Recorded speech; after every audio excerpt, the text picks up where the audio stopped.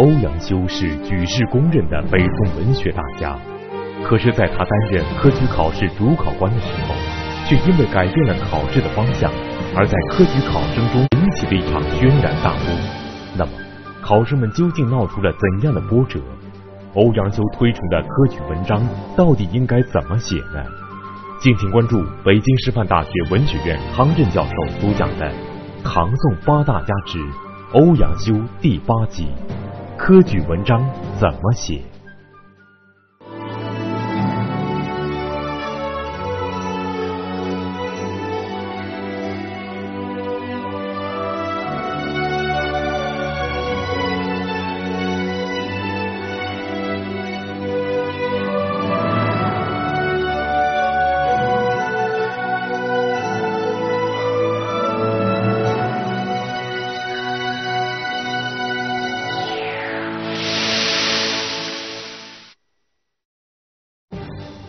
阳修是举世公认的北宋文学大家，在诗词文赋等各方面都有极高的造诣，取得了令人瞩目的成就，领袖北宋文坛达三十年。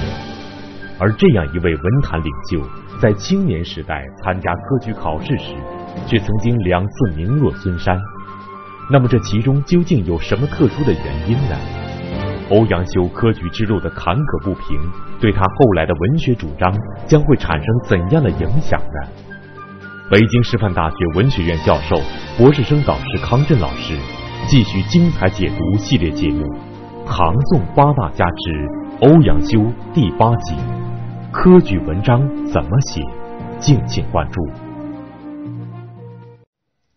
上一集我们说啊，讲欧阳修讲了这么长时间了。我们始终了解的比较多的是欧阳修的政治上的一些事迹、一些做派、一些言论。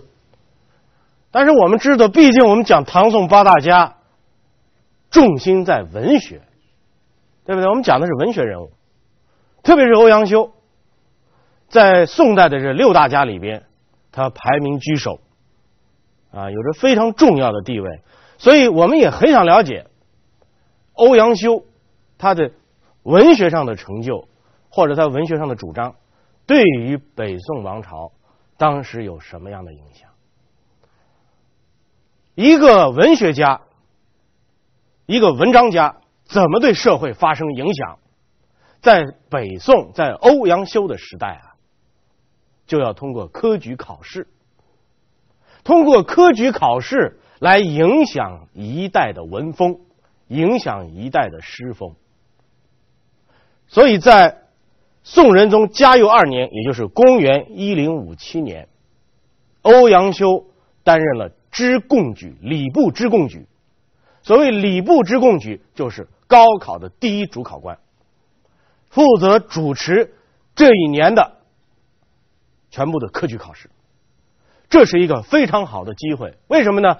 他主持科举考试，他就可以确定今年的科举考试。或者未来的几年的科举考试，写文章的方向是什么？我们知道，古代的科举考试跟现在的高考毕竟不一样。现在的高考语文只是其中的一科，对不对？而作文呢，在里边又占了一小部分。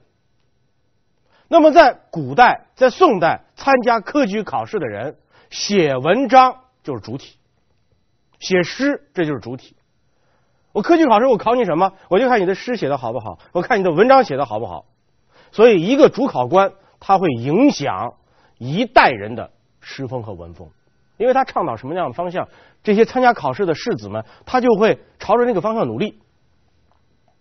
那么，欧阳修主持科举考试，他会倡导一种什么样的为文之道呢？就是说简单点，他会规定这个高考作文怎么写。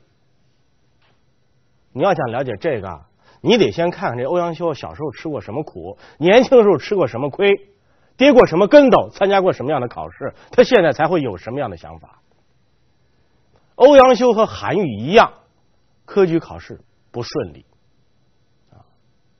考了两次都没考中，你知道为什么？这欧阳修小的时候读文章啊，他家里没钱，他从另外一个有钱人家的。这个书楼里啊，发现了一本书，就是韩愈的一部文集，但是不全了，比较残缺的。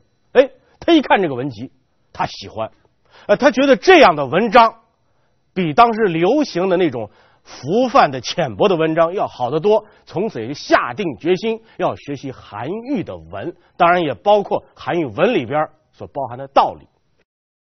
他就拿着这韩愈的文，写着这韩愈的文去参加考试，一考就考不中，一考就考不中。他后来就发现这规律，说韩愈的文章固然好，但是他的文章不合于现在人的标准，或者说不现不适合于现代人考试的标准。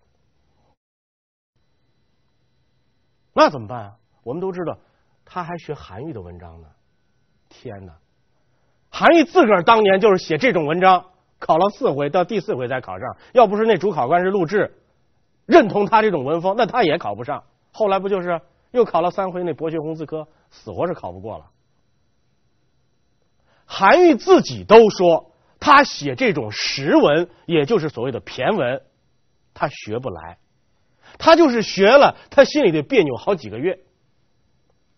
那你说现在欧阳修该怎么办呢？欧阳修比他会变通。欧阳修觉得这样不成就先放下韩文来写这骈文。所谓骈文，就是特别的讲究词藻，讲究对仗，讲究对偶。比方说，初唐的王勃写的“落霞与孤鹜齐飞，秋水共长天一色”，这就是骈文。你要每句都写成这样，那很困难。所以有的人写着写着就只顾了文章的文采，忘记了文章的内容。韩愈、欧阳修反对的就是这个，因为文章的核心还是在于有思想、有内容。那怎么办呢？先放下韩文，先来对付考试。你还别说哈，这个欧阳修这样的人，那都是聪明人，只要一改弦更张，这种文章学的也很快。他先考了一个广文馆考试，这个广文馆考试什么呢？广文馆是当时国家学校的一种，进了这学校专门针对科举考试中的进士科，他考了个第一名，考进了广文馆。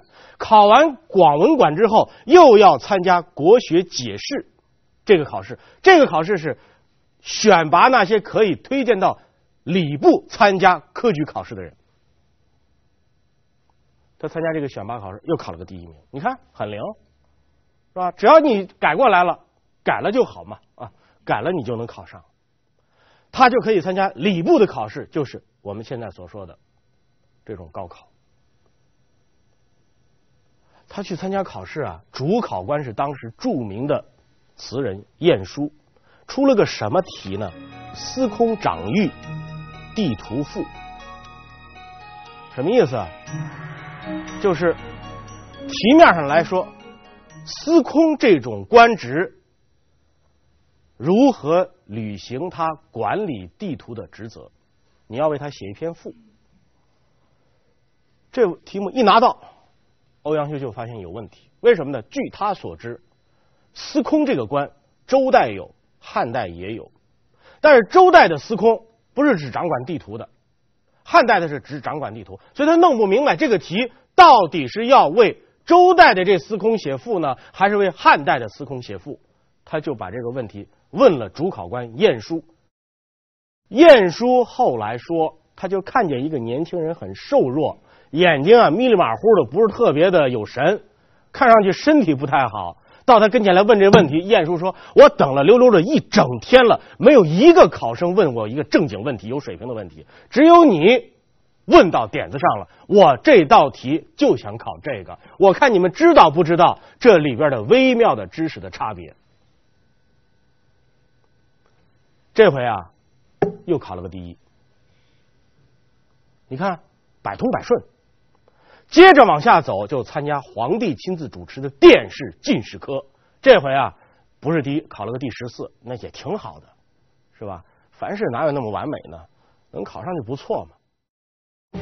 科举考试自隋代创立以来，经过唐代的完善发展，到北宋时期已经日臻成熟。北宋时期的科举考试分为解试、省试和殿试三级，考试的内容。以注重文采、讲究辞藻的骈文为主，能够在基于苛刻的层层选拔，特别是在最终的殿试中取得名次，对于科举考生来说是莫大的荣耀。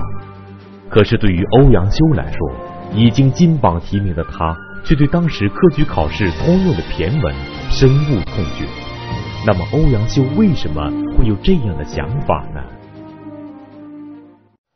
他对骈文是非常厌恶，厌恶到什么程度？我们上次说过，他跟范仲淹都属于革新派。范仲淹后来被贬了之后，又回到了朝廷，做了陕西经略副使，负责对西夏作战。我前面曾经说过，范仲淹一到台上来，就把欧阳修怎么样呢？想召回来做他自己的长书记，负责文书的。他不是不愿意吗？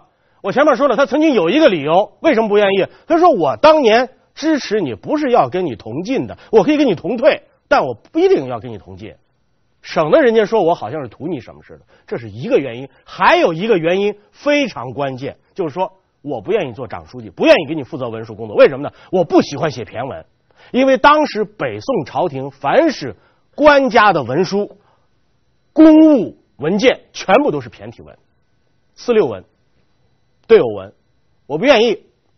我不想写这个。我当年考科举为的是换文凭，没办法。我考过了之后，从此我不想再写这些东西，所以我不去当这个官。他对这个骈文的态度是这样，为什么呢？因为当时的骈文的风气很坏，呃，只注重词藻，只注重华美的外表，一点都不注重这文章的内在的实质的内容。你知道，当时人也不光是欧阳修一个人讨厌这骈文，很多人都讨厌，因为风气很重，很多人都想揪这个篇。谁还讨厌司马光？宋神宗继位以后，请司马光出来做翰林学士，这个差事就是专门写骈文的。为什么呢？他得不停的给皇上起草诏书，那全都是一水的骈文。司马光是死活不愿意干。宋神宗就纳了闷了，说。古往今来，有人能为文不能为学，有人能为学不能为文，是吧？能兼有学和文章的不多呀。您这是什么都有，你凭什么不爱干呢？他说：“那个我不愿意写那种骈体文。”说皇上说没事儿，你就写两汉的制诏就可以，就是汉代的时候那些诏书，那都不是，那是散体文。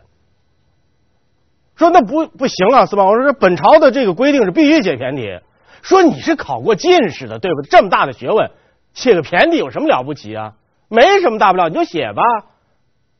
你你就担任这职务吧，你就接受我给你的任命书吧。不行，死活都不愿意，是吧？皇上宁塞给他都不愿意。后来呢，派了一个宦官跟在他屁股后头跑到办公室，让他接受，他还是不接受，坐在椅子上。说，把这个把这个任命书我给你，你接受吧。这个不接受，宦官说那这样吧，你再回去，那皇上还等你着呢。他又回去，皇上这回简单，给那怀里一扔，你爱接受不接受，反正都是你的。实在没办法了，接受了。你看这例子很生动，说明形式主义的文风啊，让大家都讨厌。通过改革科举考试的文风来推行自己的文学主张，是欧阳修由来已久的夙愿。在北宋时期，科场文风与整个文坛风气息息相通，联系密切。此时，担任科举考试主考官的欧阳修决心利用手中的行政权力，痛革科场积弊，刷新文风，推动文学革新的进程。可是，就在他准备大刀阔斧纠错纠偏的时候，一种奇怪的文风却蔓延在准备应考的读书人中。欧阳修认为，这种文风的危害比骈体文还要大，必须打掉。那么，这个奇怪的文风究竟是什么？它到底是由谁来发起的呢？我们知道，唐代和宋代有一个很相似的地方，就是科举考试的时候啊，特别重视写诗。哎，这诗呢写出来之后，能看出一个人的才华，是吧？看出一个人的文采。但是不重视什么呀？不重视策论。什么叫策论？现在的话说，就是写一些有关时事的议论，有关时事的文章。比方说，你写一篇啊，论目前的房地产市场的问题，这就叫策论；论目前的房地产的政策问题，这就是典型的策论，就切于时事的，不是发内务空的议论。那么最开始都都是重诗赋，不重策论。欧阳修主持了这个科举之后，他大力的倡导应该重视策论。为什么呢？重视策论就能看出一个人的真才实学。可是你要知道，这策论要写得好，有个前提，得博通儒家的经典。你的经典就非常的熟悉，所以要重视策论。你就要用散体的文来写这些策论，你就不能拿骈体来写。而要重视策论，你就必须要熟悉儒家的经典的著作，这是连在一起的。大家可能会想说，那这挺好啊，这事儿就结束了，是吧？原来是骈体，你多么不喜欢，现在你主持了科举考试，你不就可以把文风纠偏了吗？大家都开始写那种实用的、有内容的、言之有物的那种散体文。用散体文来写策论，我告诉你，事情要是那么简单的话，咱今儿也不在这讲这么复杂了。因为要重视儒家的经典著作的学习，所以当时范仲淹等人就开办太学，专门邀请那个著名的石介，大家应该对这个人的印象已经很深了。这个石介就来做这个太学里边的老师，他是个非常负责任的老师。讲课讲的也很好，可就是有一样，有哪一样呢？这个石介啊，他是很重视儒家经典的学习，但他重视儒家经典的方向跟欧阳修有很大的不同。石介重在讲述上古三代尧舜禹先世之王的那种伟大的功德。哎，他重视讲道理，特别重视讲什么呢？就是特别遥远而崇高的道理。啊，上古三代的时候，民风淳朴，道德高尚。啊，先王是如何治理天下的？你见过先王治理天下吗？他就高头讲章，哎，他讲的就是非常的多，非常的丰富，但是跟现在的现实离得怎么样呢？非常远，就是他的那个理论很醇厚，也很深厚，但是呢，很遥远。这是他所讲的儒学的方向。因为他讲这儒学的方向，所以他要写文的时候，他也写散体文。但他写文的时候啊，这文就变得非常怪。为什么会变得非常怪呢？欧阳修当时啊说过这么一段话。欧阳修说：“如果一个人只是老老实实的做事，他看到这件事情他去做，他顺着这个事情的规律去做，按道理去做，他这个事儿啊会做的普普通通、平平常常，没什么了不起的。可是如果想要与众不同、语出惊人，那做事情的方式就完全不一样了。怎么完全不一样呢？我要讲道德。”那必须是特别的奇高的道德，我要写出的文章来，那必定是不同流俗的文章。总而言之，反正就是我们这一片跟你就都不一样，就透着表现出他特别的高尚的道德，特别与现在不同的文风。你知道欧阳修的儒家的道德和思想的方向是什么吗？欧阳修就四个字切于事实，实事求是。欧阳修讲一个很重要的话，说你现在甭说那么多了，什么上古三代尧舜禹是吧？皇帝那时候开始的，我告诉你，就是尧舜禹他们的政治、他们的道德也很具体，无非是我想要选一个大臣，到底选什么样的。我想要平息这个水灾，我怎么平息都是非常具体的事儿。他甚至举例子说，孔子是最能讲周礼的，离孔子最近的就是孟子。孟子讲到先王之道的时候，也只不过是怎么种树啊，怎么样开发经济，怎么样能够实行仁义之道，那都是落实在非常具体的生活当中的。没有绝对的、非常玄的、非常虚的、呃摸不着头脑的那种先王之道。所以他认为，一个年轻人写文章的根本的目的，不在于为文而文，而在于什么呢？你要通过你的文章要干预社会，你得让社会上的人知道你为什么写文章，你文章里头的内容对人家会产生什么样的影响，这是最重要的。你看，欧阳修的政治观、道德观。儒家的观念以及他的文章的观念都是什么样的？非常实在的，非常实际的，要求切于事实。但是在实践的倡导下就不一样了。实践在道德上、在政治上，他取取法乎高啊，取得很高。在为文上特别提倡要跟别人不一样。苏轼后来对这有一句话说得好，苏轼说什么呢？说皇上强调要学先王之道，要学儒家的经典著作，但是呢，迂腐的文人们求的过深就迂腐了，求的过奇就有点奇怪了，所以那文章写出来啊就没法看了。本来是反骈文的，结果反的过了，砸过界了，砸过界之后呢？那还不如骈文了，不知道写的是什么。欧阳修始终认为，科举文章一定要言之有物、平易自然，也就是以他为代表的宋代古文运动的发展方向。而实践所倡导的太学体，由于追求奇绝的文风，所以导致文章艰涩怪僻、深奥难懂，成为宋代古文运动健康发展的新障碍。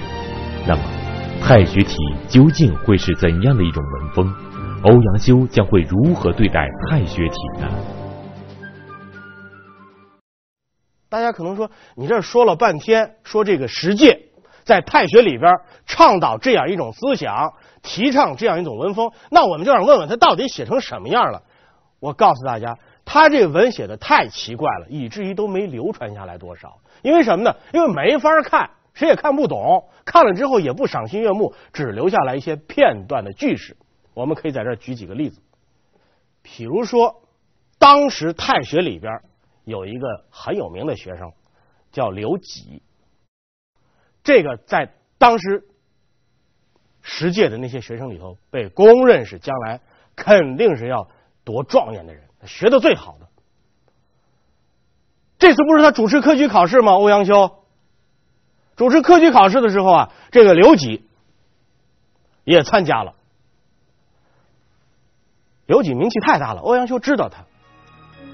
结果欧阳修就看到一份卷子，上面写了这么几句话：说天地渣，万物浊，圣人发。其实说白了，什么意思呢？用咱们的自己的普通的能听懂的话来说，就是天地运行。万物生长，圣人出现，就就就这么个话。这个欧阳修一看这几句话就知道，这肯定是刘几。但是我们知道宋代的卷子是什么？是呼起来的，你看不见他名字，但是一看这种这种腔调，就知道又来了。就这太学的这帮人写的这种怪文章，是吧？好好的人话不说，就非说些奇怪的话。他就没客气，就在后边续了一段话，续的什么呢？说秀才蜡试管刷，什么意思啊？就是你写的这些太奇怪，太荒谬。我对你这种句子只有一个字儿，就是刷。用什么刷呢？用朱笔给它刷掉。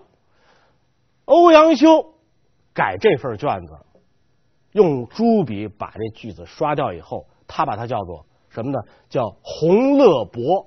红乐博用我们现代话说就是什么呢？就是红色的标语，红色的绣箍。总而言之，就是一个大笔把它全都勾掉。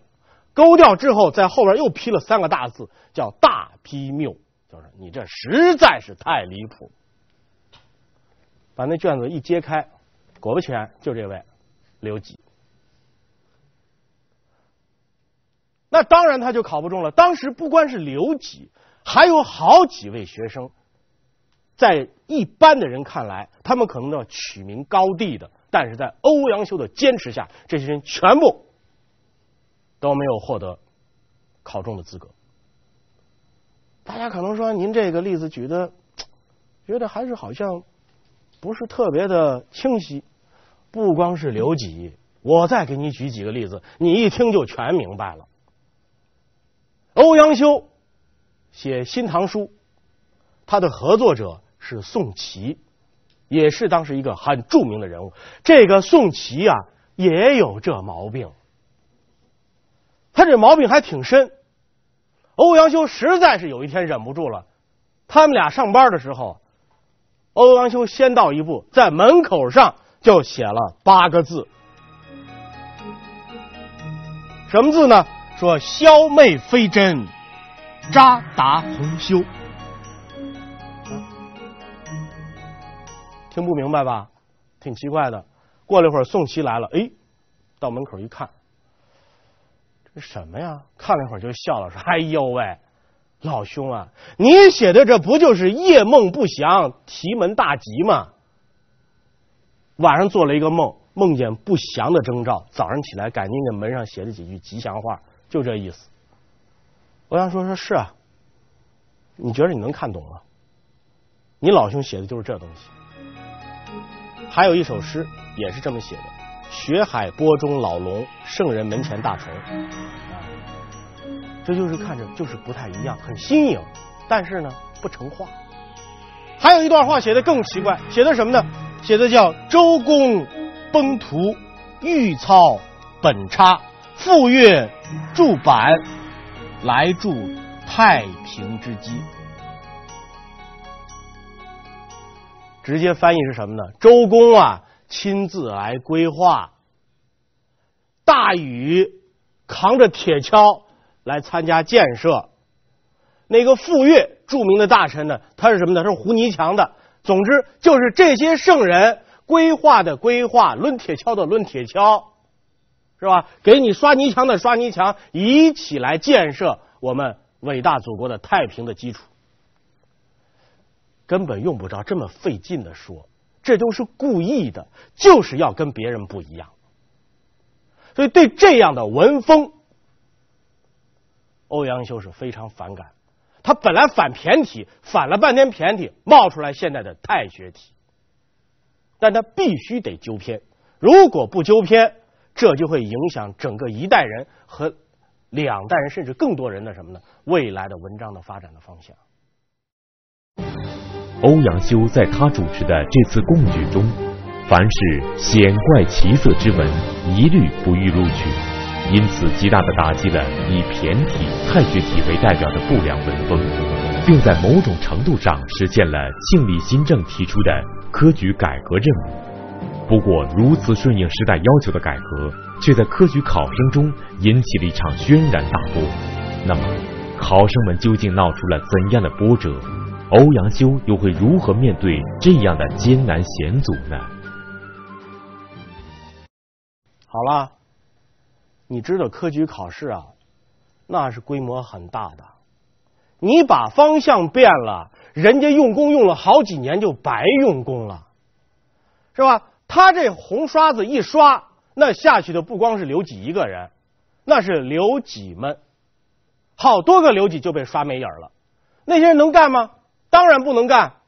他们就开始鼓噪，就开始造反啊！有的人呢，就写一篇。祭欧阳修文啊，给他写篇祭文，然后呢，给他扔到他那院子里头，是吧？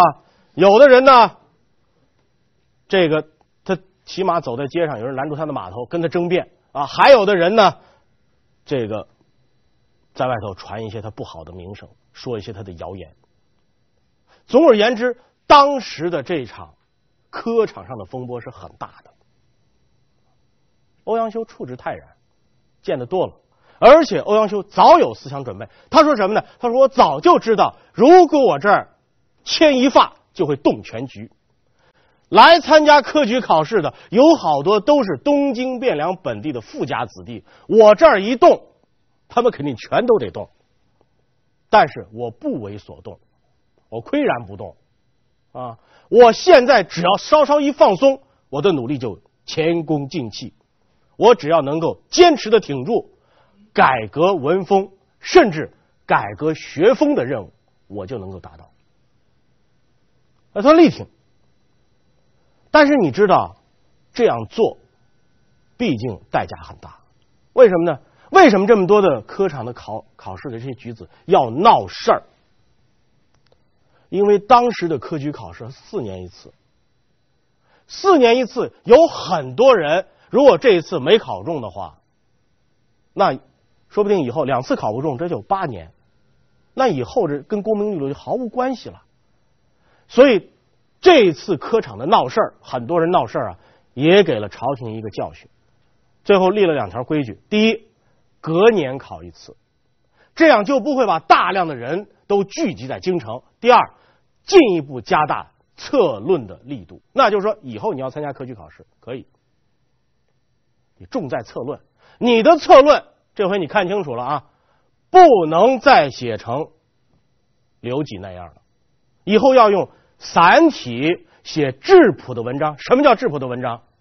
就是切于时事，解决实际问题，不要谈玄，不要空说理，而要结合实际的问题来解决现实中存在的各种各样的事情。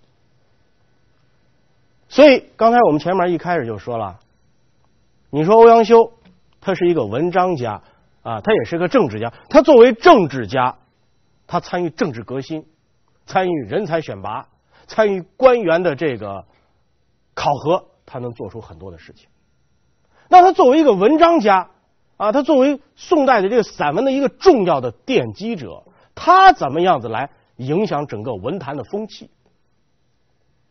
那就是科场考试，所以在他的主持之下呀，这种风气得到了很大的改变。过了几年之后啊，又发生了一件事儿，还是欧阳修主持的这个科举考试。看卷子，翻开一看，又是那种熟悉的文风啊，太学体的那种文风。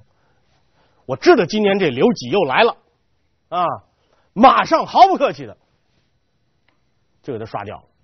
结果把那面一揭开，发现不是，是另外一个人的名字。哎，就觉得挺奇怪的，然后这看着这挺眼熟的，怎么不是呢？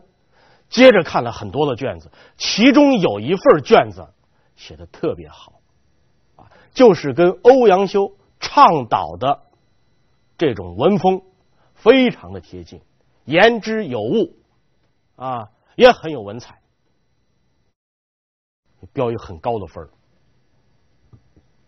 揭开一看，叫刘辉，啊，这人不认识。旁边有知道的说，这就是那刘几，啊，把名儿给改了，害怕您一瞅他名字就给他刷掉了，您见他就刷，他都给刷怕了。但是这个来的时候。欧阳修完全不知道他的名字，就是揭开来看他也不认识，那就是说，经过欧阳修的整顿文风，连刘几这样的当年在太学体的这文体上面，在这种文风方面都是非常出名的人，现在也改弦更张。当然，有的人说那逼的没办法呀，他不改弦更张，他考不上。对啊。他是就考不上，但是问题在于欧阳修所倡导的这种文章风气，所倡导的科场的文字的风格，那是正确的，就是用散体的写自己真诚的心里头的话，写自己的啊心里面所想的事情，要对社会的方方面面要关心社会的事物，要把儒家的道德、伦理、政治的思想切切实实的。写入到对日常生活的关注当中，而不是要故意出奇、故意出新，那不是他们要追求的目标。所以我们说，通过这样几次科场考试的这样子体制性的转变，欧阳修不仅自己创作古文。自己创作散体文，自己创作那些切于时事的文章，而且真正开始推动整个宋代文章的改变。我们说欧阳修啊，是。北宋文章的宗师。大家要理解，这个宗师的概念可不是轻轻而易举谁都能当得上的。什么叫宗师？就是不仅自己的文章风气要变，而且要引导时代的风气也要变。可是时代的风气要变，你只是一个文人，只是一个文学家，行不行呢？那不行。一个文学家，一个文人，你只有道啊，你自己手里只有道。什么道呢？就是我自己所要行的理想。但是我的理想怎么能够付诸为行动？我的行动又怎么样能影响社会？我影响社会之后呢，不只是短期的影响，还能影响到长远。这就需要什么呢？这就需要势。一个人不但要拥有道，而且要拥有势。有了道，有了势，还要有什么呢？还要有术。所以，一个知识分子，一个思想家，一个文学家，一个文化工作者，他自己不仅仅是要拥有自己的道，你只要有只拥有道不行了，那就只能独善其身了。自己天天在家里文章，一会儿写篇文，一会儿写太学体，一会儿写散体，是吧？一会儿写各种体，你写的再多。跟你们家垒的一尺多高、两米多高没有用，你要谋求势，获得现实的政治平台和运行平台。你站到了这个平台上，这叫居高声自远啊！欧阳修有他的道，他要推行这样一种宣扬儒家的思想的散体文，质朴的切于事实的散体文，他又占据了势，他掌握了科举的权利。同时，他的术也非常重要。他的术是什么呢？他的术是不但要反对原来的骈体，更要反对同处一个阵营之内的，但是剑走了偏锋的那种太学体。因为他主持科举，号令天下，所以凡是考中的都是他的学生。这些学生将来写文章，将来做学问，将来为人。都会跟着做主的风格来走，所以你想，一个道，一个势，一个术，这就是欧阳修作为一个文学家的角色影响社会的很重要的几个元素。那大家说你这天花乱坠的哈，说了大半天了，我那个念了很多反面的教材，是不是？那我们就想知道。像欧阳修这样的一种改变了文风之后，他要再录取人，那人的文章得写成什么样的才能入得了他的法眼啊？那样的人写出来的范文，你能不能给我们看一看？就是他所倡导的那种革新以后的高考作文什么样的？您给我举出一篇来，我们下集再接着讲。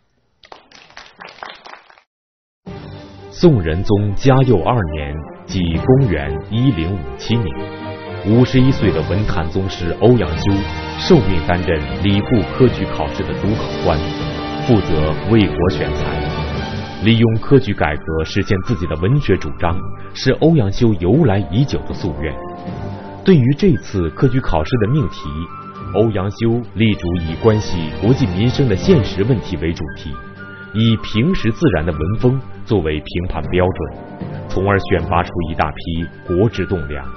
那么，这次科举考试的考题究竟是什么？到底会有哪些考生在这次科举考试中脱颖而出呢？北京师范大学文学院教授、博士生导师康震老师继续精彩解读系列节目《唐宋八大家之欧阳修》第九集：后浪如何推前浪？敬请关注。